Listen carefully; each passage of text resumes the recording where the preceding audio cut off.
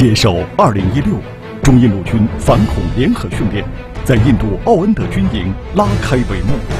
在为期十天的训练中，中印官兵混合编组进行联合反恐演练。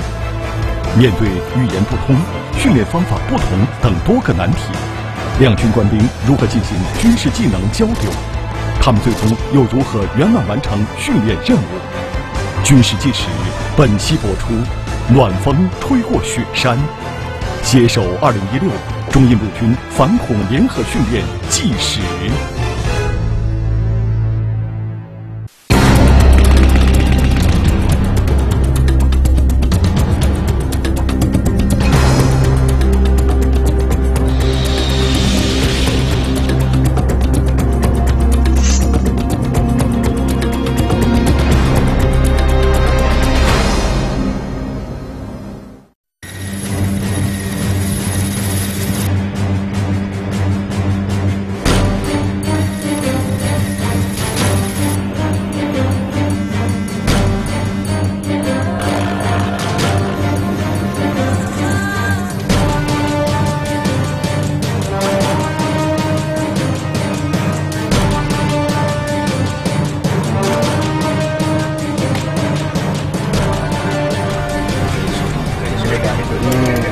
是一个八字节嘛？哎，就跟这才就是说，也是管理管理团一个什么？OK OK。这一天，在印度奥恩德军营，一名印度军人正在展示直升机索降的技术动作，而在一旁观摩的是一百多名远道而来的中国军人。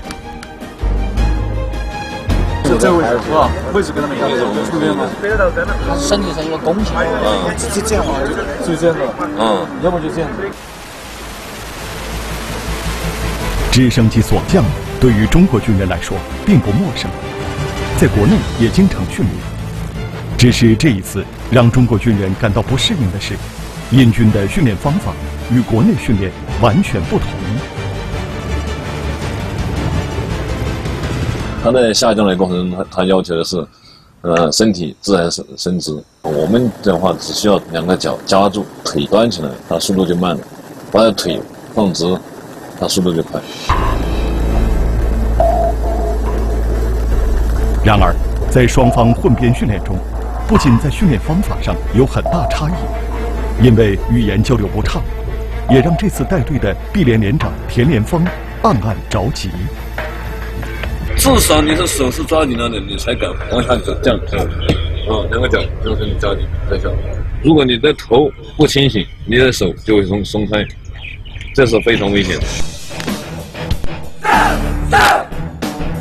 二零一六年十一月，为了加强中印两军的合作交流，为期十天的携手二零一六中印陆军反恐联合训练，在印度普纳市奥恩德军营举行。中印双方采取混编方式，分为 A、B 两个连队，田连峰担任混编 B 连连长。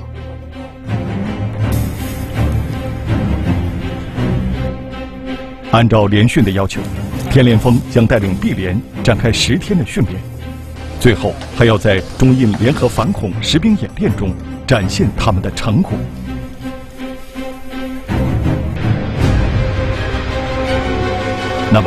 在陌生环境、语言不通、训练方法不同的情况下，田连峰该怎么把混编 B 连带好？短短十天，双方能做到消除语言障碍，达到默契配合吗？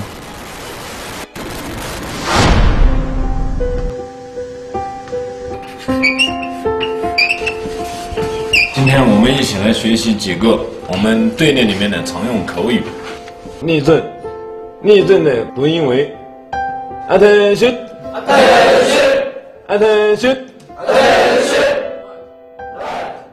其实，来印度前，为了更好的与印军交流，参加中印陆军反恐联合训练的中国军人，还专门学习了简单的英语。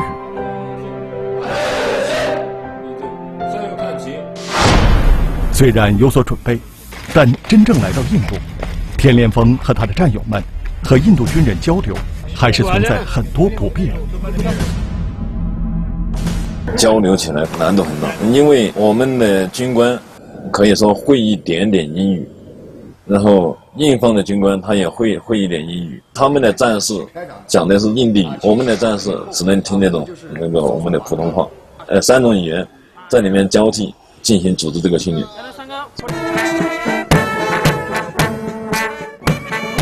联训开幕式上，在欢乐的节奏中。印度军人表演的东方勇士舞蹈和体操，给中国军人留下了深刻的印象；而中国军人表演的太极拳和中国功夫，也让印度军人很感兴趣。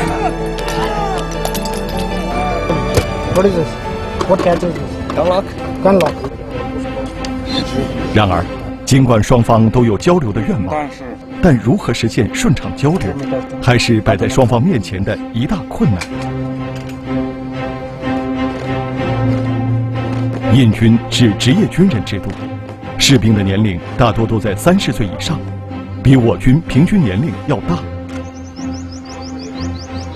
开始的时候是有一点嗯不服气的那种感觉，因为他们年龄比较大嘛，觉得我们嗯没经验，在一些意见上面就出现很多分歧，还是拿了很多实际的一些本领给他们证明。中印双方第一次共同的行动马上开始。这是中印两军混编训练的重点科目——入室清剿。入室清剿科目假设的是恐怖分子已经占领这座居民楼，此时执行反恐任务的士兵必须按照一定的战术动作突入室内。突进二组。对那个黄色房屋进行。blue house पे जा रहे हो blue घर पे जा रहे हो blue घर पे जा रहे हो कब जाओगे फिर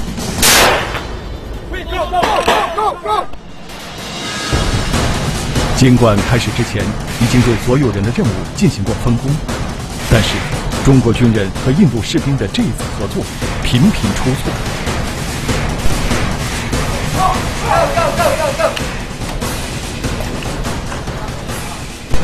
说的是一路前进。他就听成是一个人，就导致我们这个突入行动的话带来一些麻烦。啊，你们对那个房屋搜索完毕了吗？那个蓝色和棕色房屋搜索完毕了之后，你从那个往那个土包这边运动，往这边运动的时候，你的目标对这个方向。双方的语言不通，只能是靠基本的手势，还有就是那个互相的表情来表达的那个互相的感情。就是你们每一次进房间和出房间的时候都有点打挤，你们得把脚下的步伐每一个人走到哪个位置都要把它练出来。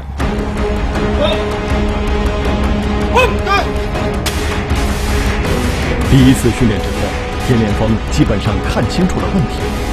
他觉得练习的次数多一些，入室清剿这个科目的问题应该不难解决。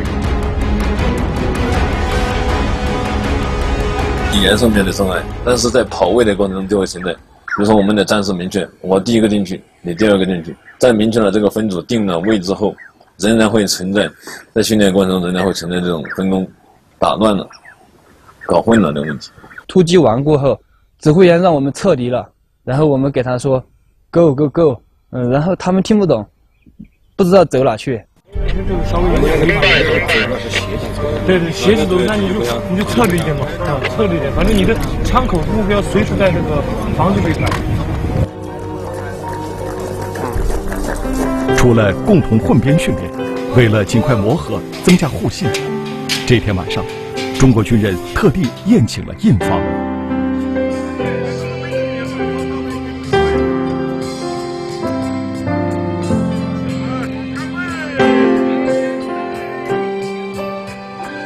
开饭的时候，他们印方人员都会跑过来，在我们这边来打饭吃，感觉他们对我们的食物还是挺感兴趣的。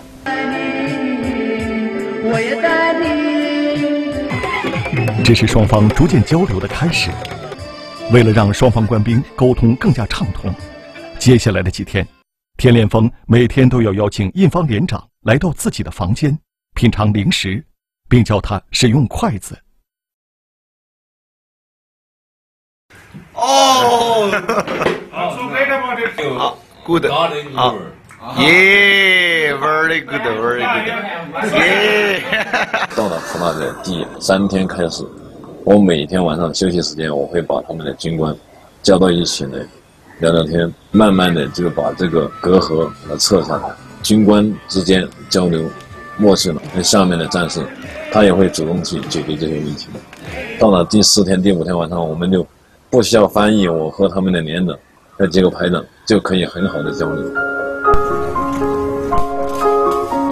此次中印联训，目的就是为了加强两国两军的互信合作，增进彼此的友谊。几天的接触后，中印两国的官兵也在逐步了解，互相信任。还好相处，都比较热情。啊，我们身上这个姓名牌嘛，下面都有拼音，他们都认识我们的拼音。是一个奥运会的华夏项目。奥运开始比赛。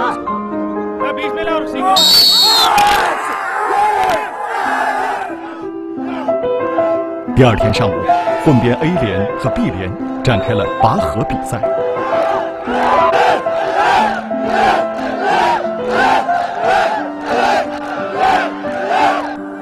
绳子一会儿偏向 B 连，一会儿又偏向 A 连方向。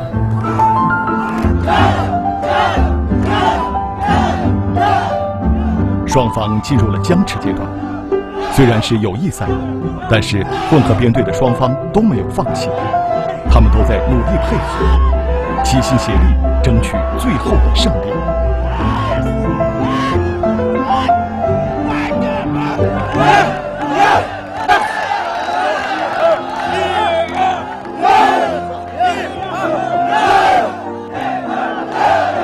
听着加油鼓劲的助威声，大家按照节奏一起用劲。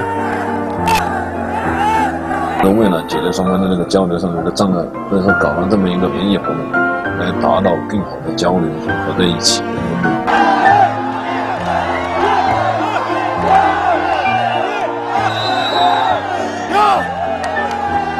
几个回合下来，中印官兵逐渐变得越来越融洽、协调。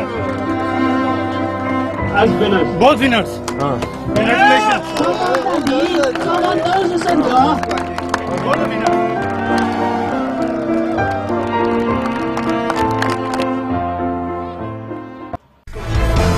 在短短的十天时间里，中印双方如何密切配合，完成最终的演习任务？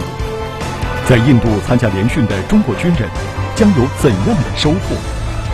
军事纪实正在播出，暖风吹过雪山，携手二零一六中印陆军反恐联合训练纪实。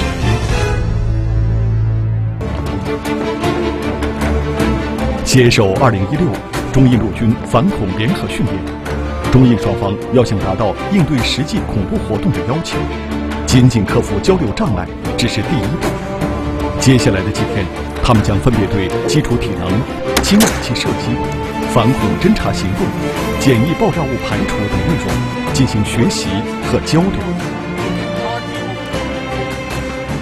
It's not safe. It's not safe. 这是概率射击。哇，One side. 在反恐实战中，混合编队人员之间必须熟练使用对方的枪械，因此，辨认射击时需要中印双方交换枪械完成。为了更加清楚对方的武器性能，在互相传授动作要领后，中印双方互换枪支进行射击。他们挺新奇我们的枪的。嗯，用起来他们就喜欢打我们的枪，感觉都排着队来打我们的枪。我们的这个武器轻和短，操作起来比较灵活。辨认射击科目也是这次联合训练的重点。它显示各种不同的颜色，它显示白色，你就打白色；显示蓝蓝色，你就打蓝色。每一种颜色的目标射击一次，明白没有？辨认射击科目要求射手对二十五米远的五组随机目标进行射击，每个目标限时三秒，考验着参训队员的快速反应能力和过硬的射击技能。那指挥员下达命令开始射击，三秒钟之内进行射击完毕。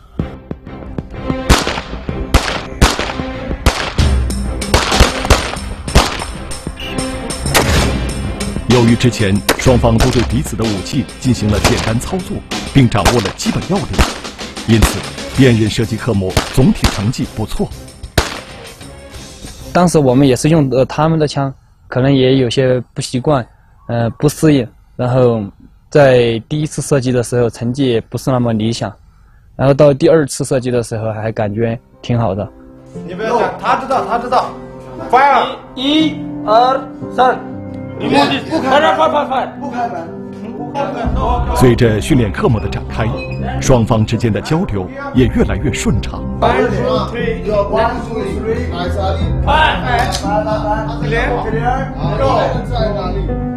One two three go。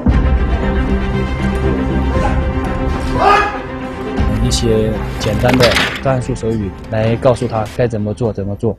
嗯，基本。因为他们也听得懂，呃，看得懂这些手语。经过训练了过后，在他们的那个手语指挥下，我们也看得懂是什么意思。到后面，默契也比较好。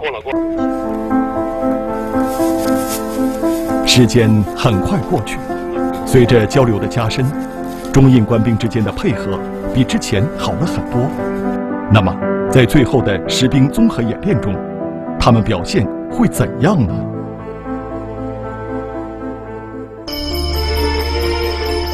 接受2016中印陆军反恐联合训练实兵综合演练，演练设定的背景是，某国际恐怖组织一伙恐怖分子在中印边境活动，伺机制造恐怖袭击事件。为了维护该地区的和平稳定，两个中印官兵混编的连队将对村庄里的恐怖分子实施彻底清剿。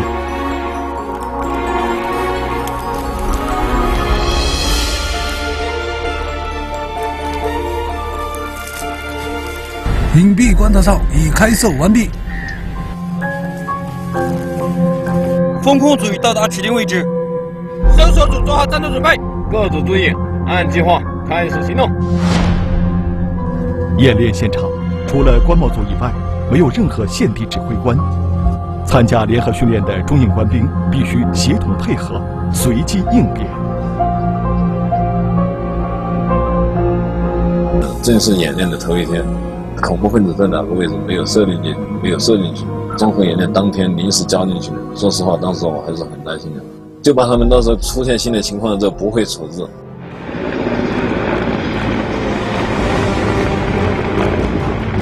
机降行动组搭乘两架直升机，迅速实施机降。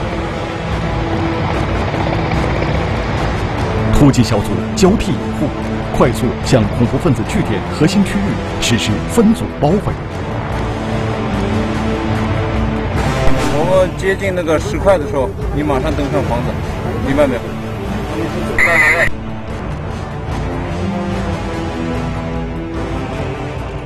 分成两个突击组，三名中方的战士，三名印方战士编为一个组，一组从一楼进去，对一楼的两个房间进行清剿，然后二组从二楼进去，对二楼的阳台和那个楼上那个房间进行清剿。恐怖分子依托房屋、封闭房门，顽固抵抗。清剿组立刻实施爆破手段，破门而入，一举歼灭恐怖分子。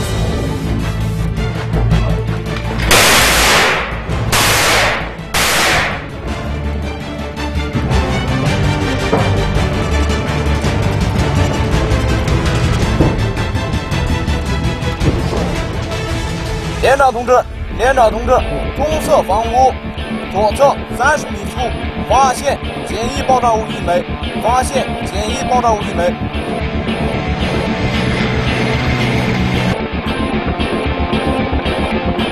排爆组立刻前出，对恐怖分子放置的爆炸物进行排除。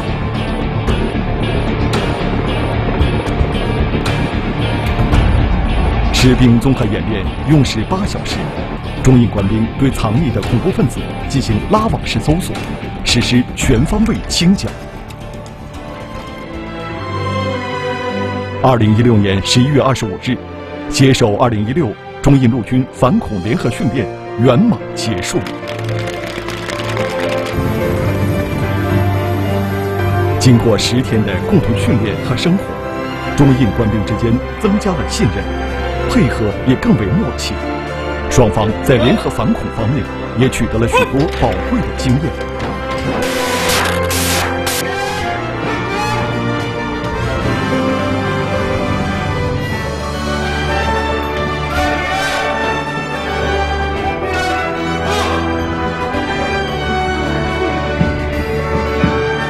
我们相信，只要中印两国两军能够始终保持相互信任、充分交流，边境地区的和平与安宁就一定能够长久保持。